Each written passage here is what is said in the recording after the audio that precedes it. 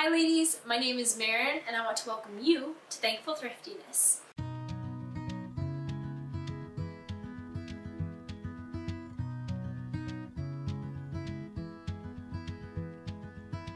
I am so excited for today's video because I finally get to work on a long-awaited project.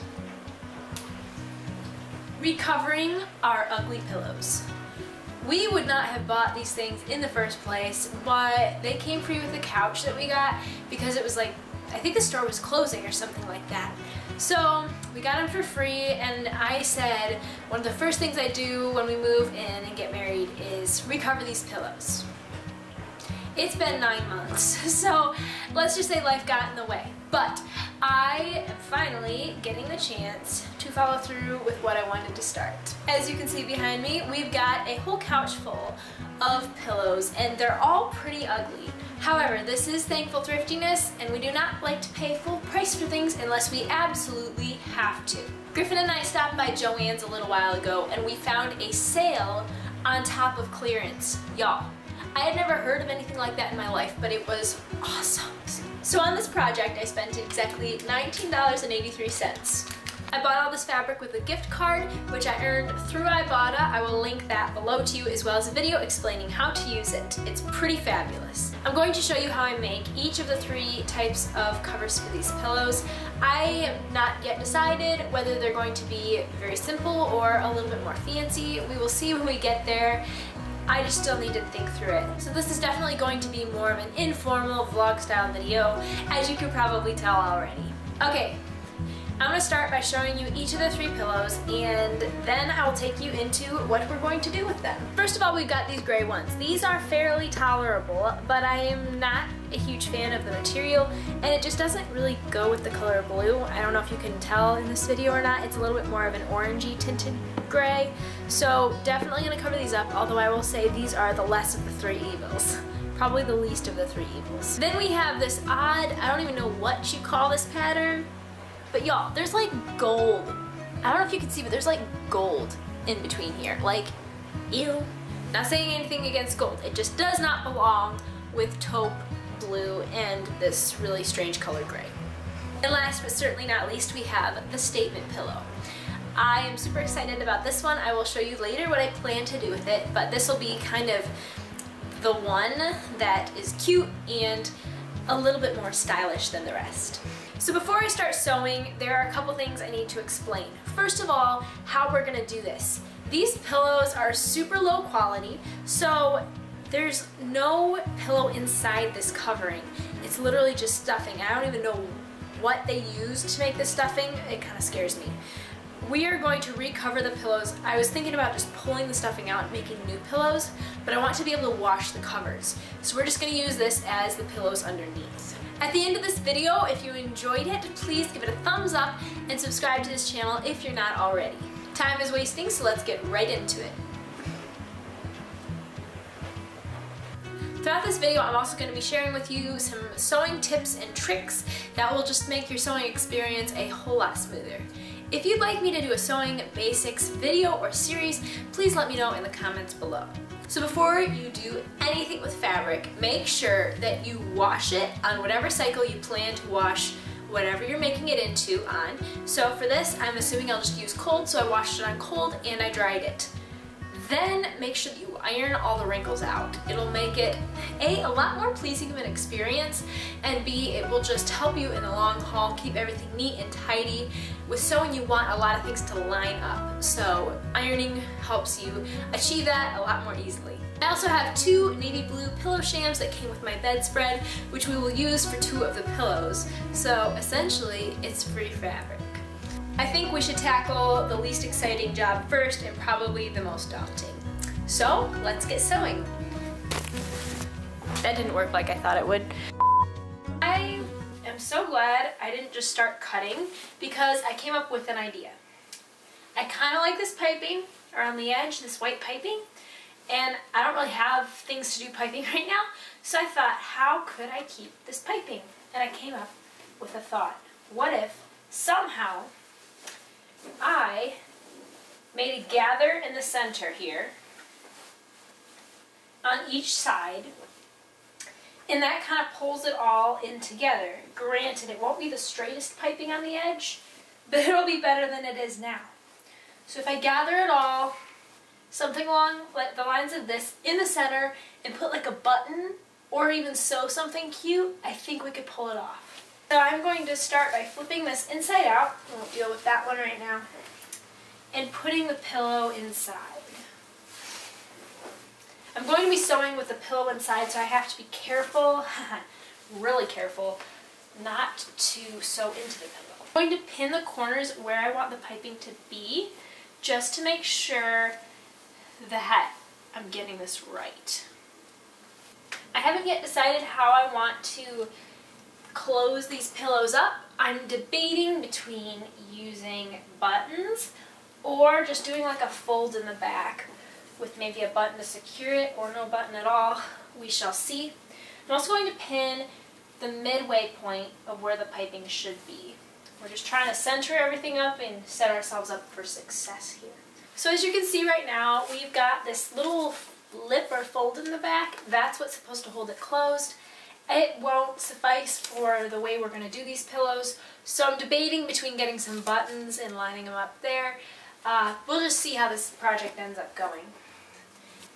The nice thing is once we've done this with the one pillow, the other one should be fairly easy. So I got some navy blue thread here and I am threading a needle. Always sew with the same color thread as you have fabric because otherwise it will be pretty obvious that it's a home sewn thing that wasn't done you know, the best unless you're very neat with your stitches. I am not at that point yet because uh, it can be decorative and cool, but I am just not there. So I'm going to do a double knot, well, looks like a triple knot, make sure it's on there nice and tight, and then I'll start gathering.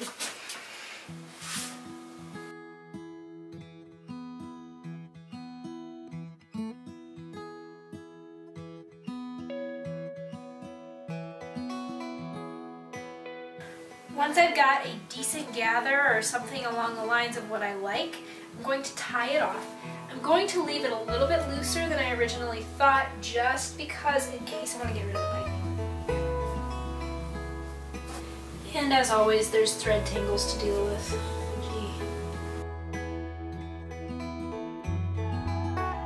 Now I'm just going to flip it over and do it on the other side.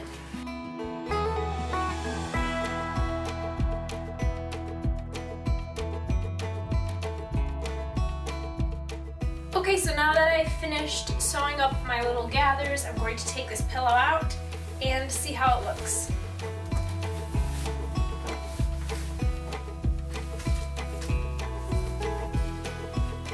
It looks like it gathered pretty well, but let's put the pillow in the other way and double check. So I am fairly impressed. I think I think it's gonna work. Um, could get a little challenging in the middles wondering if I should just get rid of the white piping. I think I might just get rid of the white piping, but leave the same design, and then I'll probably make something out of a different fabric to put in the middle here. But overall, I think that this is gonna work. Okay, so I just finished the second of the two navy blue pillows, at least what I can get done today. Again, I'll finish getting buttons and making whatever decoration we're gonna put in the middle probably tomorrow. But now we're going to move on to the next set of pillows. This should be the simplest. I don't want to use any buttons. I want to simply make a fold in the back. I'll show you what I mean. I can't think of a very good way to say it. A pocket is probably a better way to hold it all together. So Griffin actually found this uh, on clearance and on sale. So this was super cheap. I love the look of it. Note that I am using the solid colored pillow for the lighter material and I use the darker material over the more patterned pillow because the pattern could possibly show through on this and that is not what you want. You want it to look as clean and like it was made that way. So I'm going to place the pillow somewhere in the middle here. Something along the lines of that. And I just want to see. Need about that much for each pillow. Okay. Now if I make the pocket, I'm going to need about that much. So hopefully you're starting to see what I mean by pocket. We're gonna have, I think, an equivalent of this, um, once again, folded over, and then you kind of open this up to pull the pillow out. So if we pull it down a little further, that might help our case. So I'm just gonna pin this hem for this pocket, and then I'll move on to the other side.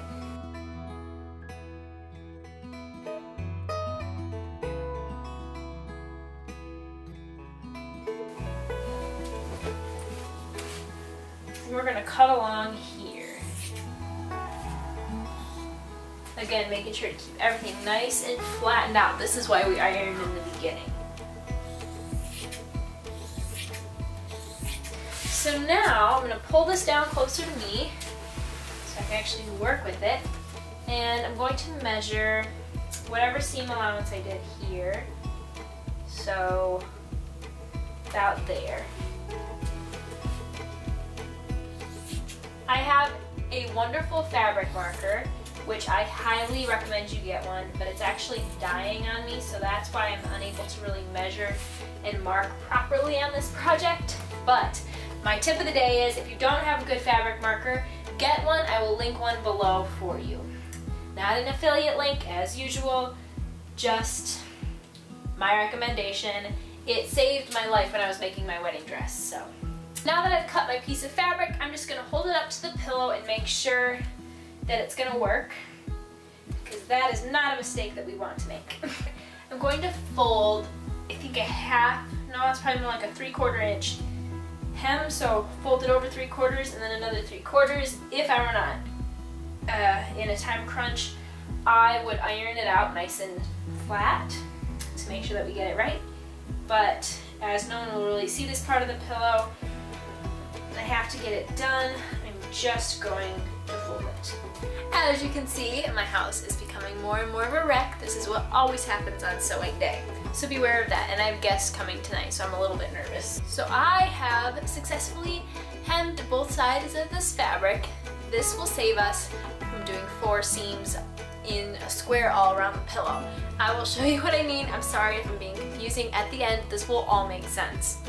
So I'm going to just sew it up real quick. I think I have about a 3 quarters of an inch seam allowance, which is the width of the fabric in the hem, if that makes sense. a quick FYI, I'm going to break the rule I told you earlier about using thread that's the same color as your fabric. Two reasons. One is there is navy blue in this fabric, and two is we're not going to see the seams. So just a note in case you're thinking, Marin, you hypocrite, which is kind of true.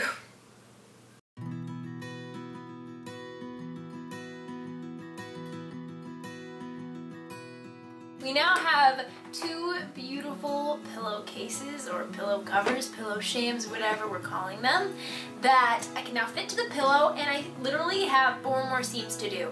Two more seams and then two to reinforce it. Whenever you are sewing something that is holding up a structure of something or is going to be used a lot, like people using pillows, people maybe having pillow fights. I'm not admitting to having pillow fights, I'm just saying it could happen. you always, always, always want to at least do a double seam unless you have a serger, which that would do another seam for you in and of itself.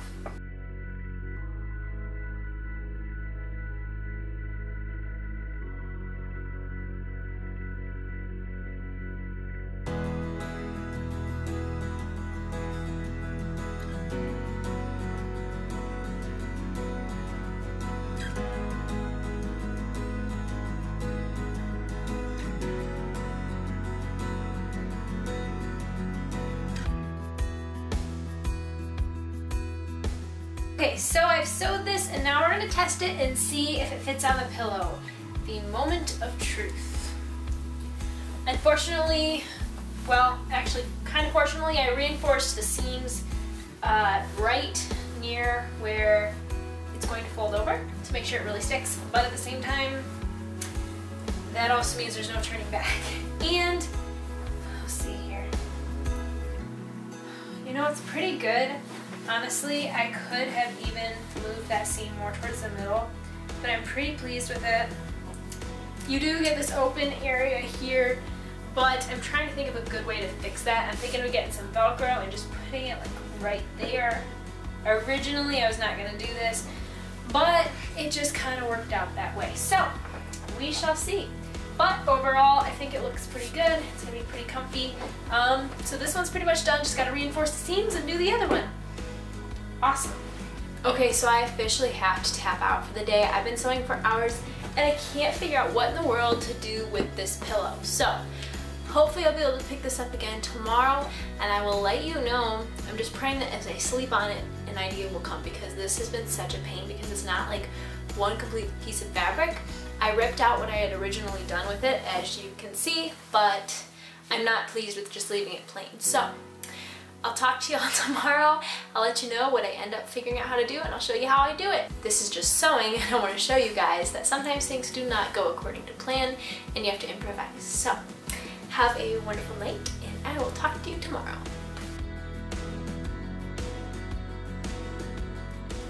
Hi ladies! So it's day two of pillow recovering for me and I was able to sleep on it and I figured out a very easy solution for the baby blue pillows. Remember how I told you that the pillows, at least one of them had split open?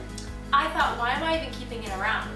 The pillows aren't that comfy. So I just used the pillow shams that we were recovering it with. I took out the um, gathering I had done in the middle and I just made a simple pillow and I stuffed it with the stuffing. And they are way squishier and comfier and way cuter than they would have been if I had just recovered them anyway. So that was a quick and easy fix to that problem. So for this last pillow, this will be the statement pillow, I made a pillow cover out of some denim material, some really light denim, that was very similar to the covers we did for these pillows, meaning they had the pocket in the back to hold it in and it fits perfectly. Now I am embroidering something on it. I decided I think I'm gonna embroider cuddle weather because I saw that on a pillow one time and in this family we like cuddling so I thought that would be super cute to have like a pillow that says cuddle weather. So that is my project for this afternoon. So far I've got the C and part of the U. So I think I'm going to turn on something, although I don't normally watch movies by myself. I might turn on um, James Herriot. If you've never heard of it, check it out. If it's still around, I will link it below. Super calming and peaceful. Yeah, all creatures great and small. I don't know if that rings a bell or not. So, I will work on this and I will let you know when I'm done. And after this, I think all my pillows will be covered. So, thanks so much for watching. I will get back with you soon. Hello again, ladies. It's been about a week since I last filmed, but I finally finished up the last pillow. Finally, like two minutes ago, put the last stitch in the last pillow and tied it off. I wanted to show you the completed product as well. If you are still with me at this point watching this video, I appreciate you very much. I myself probably would not have sat through the whole video just because of all the craziness and indecisiveness. But truth be told, that is what it's like when you're sewing without a pattern. But now I want to show you the completed result and my living room looks a whole lot more cheerful and there's nothing that makes me want to gag when I walk in the door. I'm especially in love with this little pillow. It is my statement pillow, embroidered using a simple chain stitch, and it made it go by pretty quickly. I did my outline with a fabric pen so I could wash it off really easily when I was done.